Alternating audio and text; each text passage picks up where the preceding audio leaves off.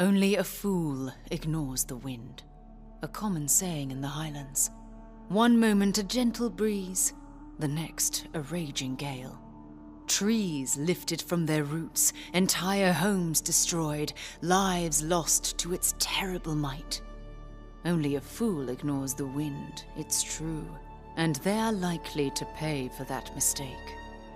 Tempests can be as gentle as the breeze or as fierce as a summer squall. Just as the wind is able to upturn roots and destroy homes, so too can the masters of this element. Respect the wind, and you'll gain the strength of the storm.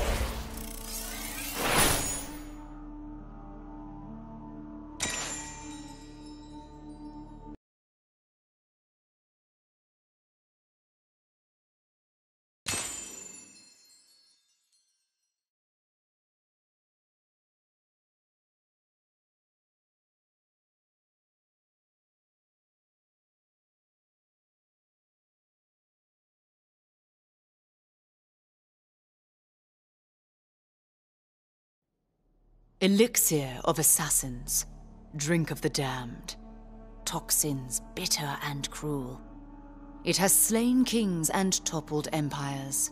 Whether coated on the edge of a blade or given gaseous form, it is just as deadly. This poisoned brew that kills without discrimination.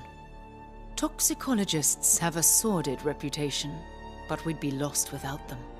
Not every enemy can be defeated by strength alone. And though the use of life sapping toxins may seem underhanded, the end goal of victory certainly justifies such means.